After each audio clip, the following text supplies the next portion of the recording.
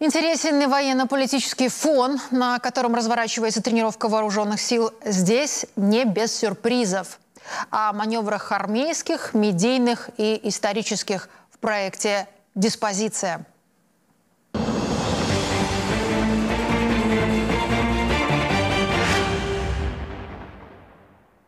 В эфире «Диспозиция» – это «Гагарин. Поехали». Командно-штабное учение вооруженных сил стартовало в Беларуси. Да еще как стартовало. С международным сразу оттенком. Военные решили первым делом припарковать опасения западных соседей относительно целей маневров и провели брифинг для дипломатов. Транспарентность 101 уровня, конечно, не оценили. Мнение Европы формирует автономно. Точнее, общественное мнение уже давно сформировано властями и доведено до общества. И мы, значит, судя по сообщениям западных западных СМИ опять что-то нехорошее, коварно задумали. Благо, соседи по региону умудрились таких новостей наштамповать, что в информационном поле затмили белорусские маневры.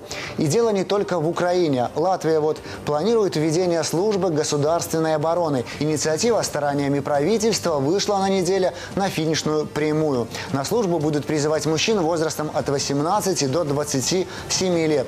По желанию встать в строй смогут и женщины. Первый призыв состоится уже в январе 23-го. Срок службы будет варьироваться в зависимости от силовой структуры. В регулярных войсках придется провести 11 месяцев.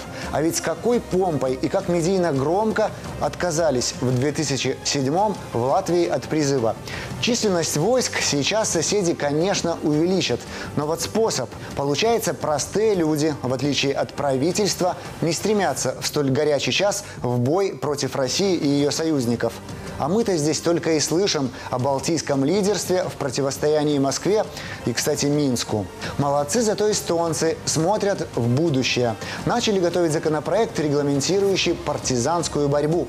Речь идет об организованной партизанской или подпольной деятельности с привлечением местного населения. В том случае, если какая-то часть Эстонии окажется оккупированной. Министерство обороны Эстонии.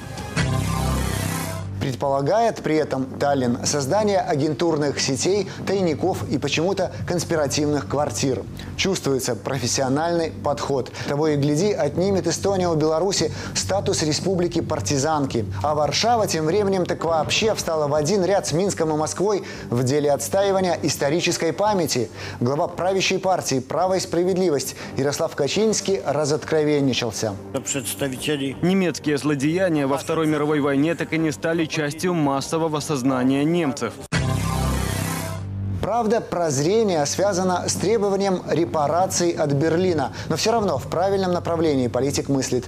Помнит о злодеяниях фашистов, не дает забыть. Вот как наш год исторической памяти на человека подействовала. А если без шуток, свою историю сегодня способны отстоять только по-настоящему суверенные и сильные страны. И вот как раз для укрепления суверенитета и оборонной мощи проводится сейчас командно-штабное учение белорусской армии. Войска отработают в том числе задачи по освобождению временно захваченной неприятелем территории, восстановлению контроля над государственной границей, будут противостоять условным диверсионным группам в сложной обстановке. Сейчас основа – это артиллерийское авиационное поражение, это смена огневых позиций, то, что мы покажем здесь именно, на этом мы тренируем личный состав. То есть нанес, нанес, нанесли удар, сразу смена огневой позиции. Это показывает опыт.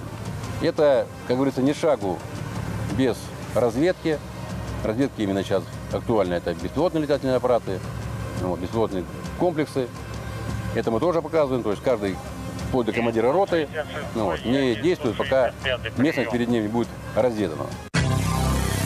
Учение продлится до 14 сентября. Активно при этом будут исследоваться передовые модели организации обороны. Проверку боем пройдут в том числе новые образцы техники.